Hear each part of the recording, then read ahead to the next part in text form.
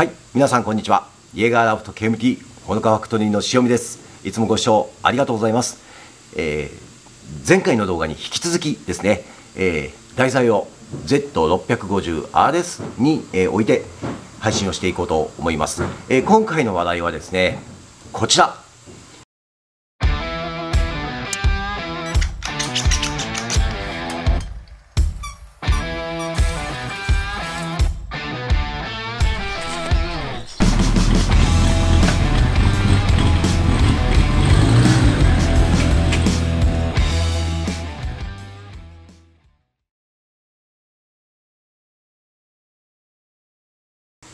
当社でおすすめをしているルバードザ・チェンルブ、えー、こちらのね商品の、えー、ご紹介と今回ねお預かりしている Z650R です、えー、こちらへの、えチェーンオイルの施工っていうのを行っていこうと思います。でねこのザ・チェーンルブなんですけど 30ml 入っている、え基本ね30回施工分って言われるものです。ということは1回の施工で 1ml でやってくださいっていうことなんですよ。1ml ってね本当雫にも満たないぐらいの量を、えー、豆腐していくような形になりますので本当にねあのー、ねあの他のねあのブログでね、えー、チェーンオイルは一切つけないでいいですよっていうサイトもあったりするんですがあのねご説明の中でね一理あるところがあって一理あるっていうかね正解の部分もあるんですよ。皆さんねチェーンルブつけすぎなんですよ。つけすぎです。で、えー、毎回言ってます。このルバードチェーンルブ 30ml 入って2500円と消費税なんですよ。とっても安価な、えー、チェーンルブだと思います。ただ施工はすごくしにくいですし、えー、とにかくケチケチ使ってくださいっていうお話をしました。で1回施工でね100円足らずなんですね。でまずねつけすぎなんですよ。皆さんつけすぎです。でつける量はかなり、えー、絞ってやっていただきたいので今回ねちょっと動画を配信していこうと思います。はいちょっと見てやってください。はいでねこのチェーンルブなんですけどあちょっと待ってね。先にちょっと一旦今ついてる油分を油分とね汚れを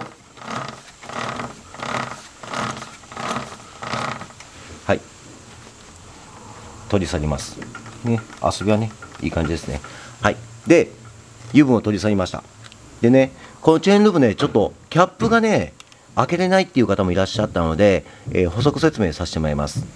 キャップは、これ、バイクに積んでね、あのツーリングなんか持ち歩かれる方もいらっしゃるので、一応ね、漏れ防止のためにキャップが緩まないように作ってあります。なので、取り外す際は、この黒いキャップを一旦ケース側に押し込んで、ボトル側に押し込んでから左へ回してください。そうするとね、外れます。で、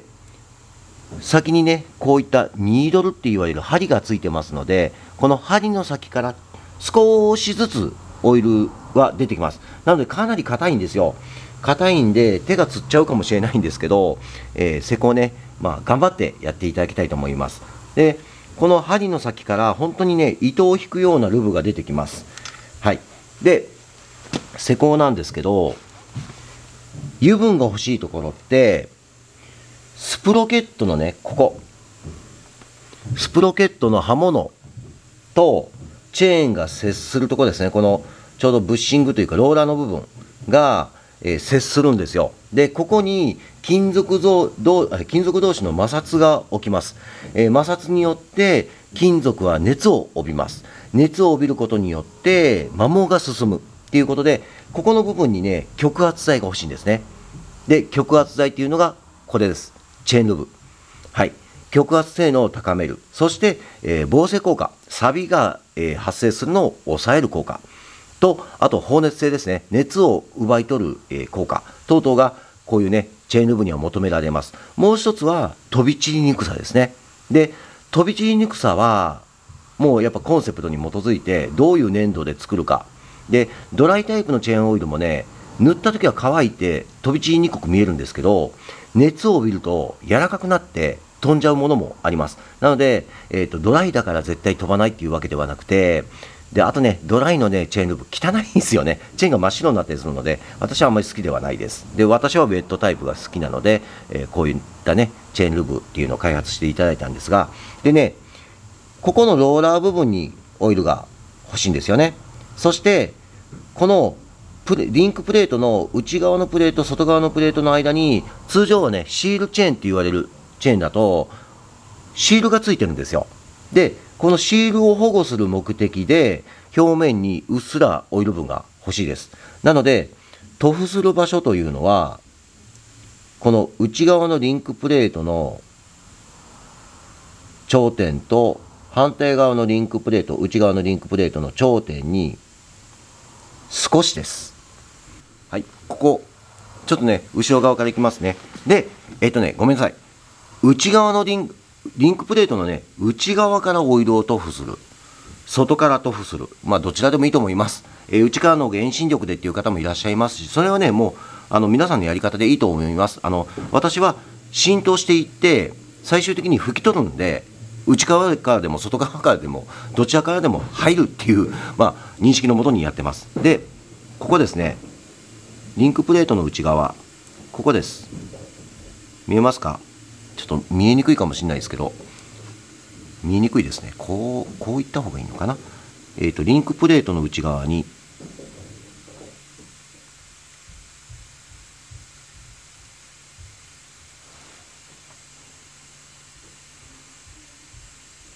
この細いノズルの先から出る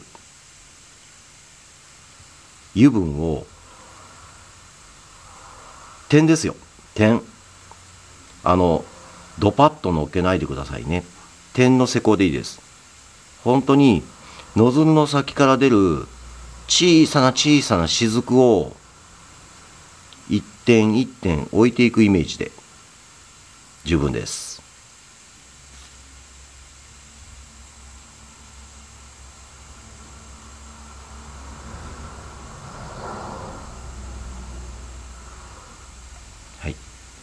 はい、いきますね。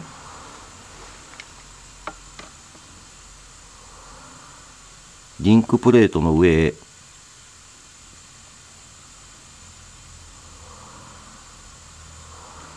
はい、ちょっとのっけすぎました。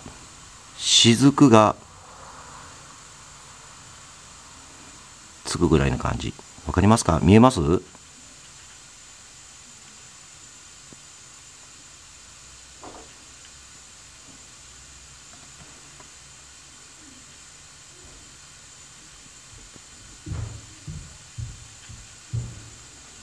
こんな感じでね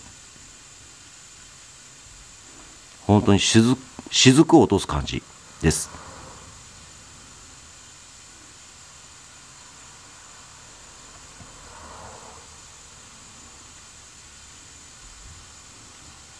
でチェーンがね温まっていれば一番ベストです。だから走行直後にチェーンがまだね熱を帯びてる間に施工していただくのがベストです。はい、こんな感じですね。一滴一滴少しずつ少しずつ内側のリンクプレートの上に置いていきます。で、えっ、ー、と、ブッシング、ローラーの部分ですね、と、オーリング、シールの部分へ、このね、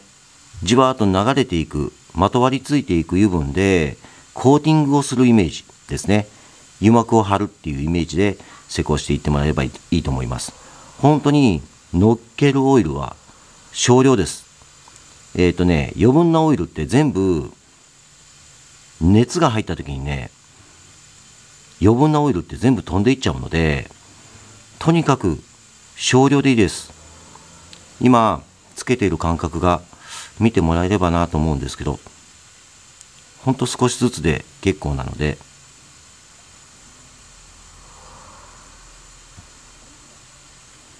ね、このルバードチェーンループがね、今、糸を引いてるのが見てもらえるでしょうか。はい。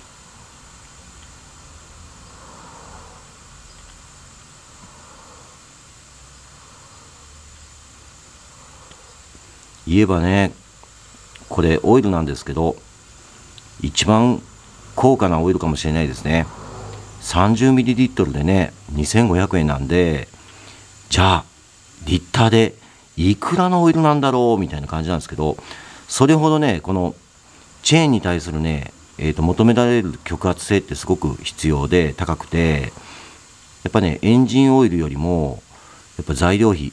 が必要になってしまうということで、はい、でもね今回ねあの昨年の値上げの際には量が少しなので上げても何十円かの世界ですねっていうことで、まあ、据え置かれたんですよね。この2500円、えー、変わらないまんま今年も、えー、ロバートさん販売をされております。はい。なのでね、